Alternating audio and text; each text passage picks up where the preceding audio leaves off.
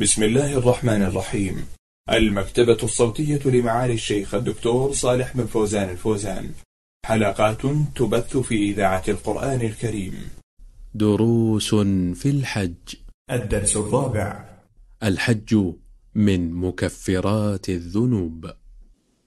بسم الله الرحمن الرحيم. الحمد لله رب العالمين. صلى الله وسلم على نبينا محمد وعلى آله وأصحابه أجمعين.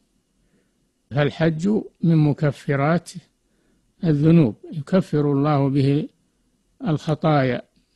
فمن حج وهو مخلص لله في حجه متبع للرسول صلى الله عليه وسلم في أدائه فإن الله يكفر بحجه ذنوبه. فالنبي صلى الله عليه وسلم بين هذا. فقال الحج المبرور ليس له جزاء إلا الجنة. وقال عليه الصلاة والسلام من حج فلم يرفث ولم يفسق رجع كيوم ولدته أمه. الحج يكفر الذنوب ويمحو الله به الخطايا لما فيه من الفضائل العظيمة من تعب البدن وإنفاق المال والصبر على المشقة في سفر الحج ومناسك الحج. كل هذه عبادات عظيمة يكفر الله بها الذنوب ويكفر بها الخطايا.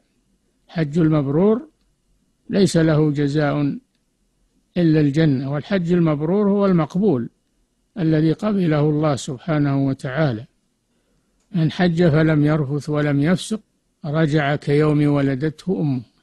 يعني مكفرة عنه خطاياه بحجه وهذا فضل عظيم ثواب جزيل واليوم والحمد لله الحج متيسر لما يسر الله من وسائل النقل السريعة والمريحة ولما وفر الله من الأمن في طريق الحج وفي المشاعر الحج ميسر وسهل ولله الحمد وأجره عظيم وثوابه جزيل. فينبغي للمسلم أن يكثر من الحج بعد أداء الفريضة. قال صلى الله عليه وسلم تابعوا بين الحج والعمرة فإنهما ينفيان الفقر والذنوب كما ينفي الكير خبث الحديد والذهب والفضة. فالمسلم يحرص على آه، تقديم العمل الصالح من حج وغيره ما دام على قيد الحياة وهو متمكن من فعل العبادات والحياة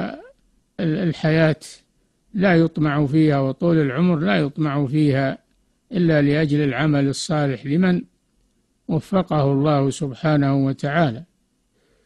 الحج والعمرة الآن قد تيسرتا لكل مسلم من قريب ومن بعيد فالفرصة سانحة والوقت مناسب والحمد لله.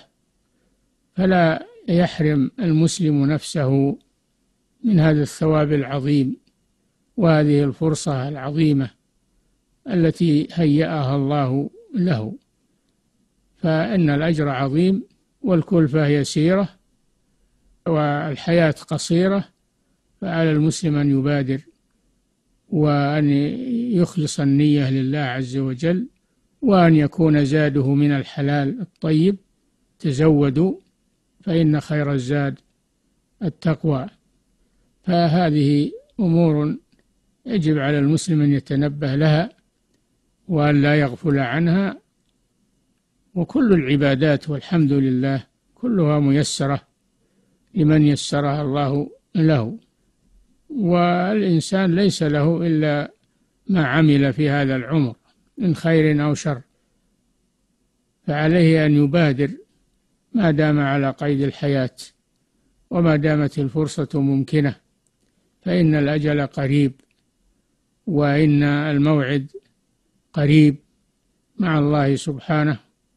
والله جل وعلا تكفل أنه لا يضيع أجر من أحسن عملا ومن يعمل خيرا يجزى به ومن يعمل سوءا يجزى به. فعلى المسلم أن ينتهز فرصة عمره التي أعطاها الله له وأمهله فيها.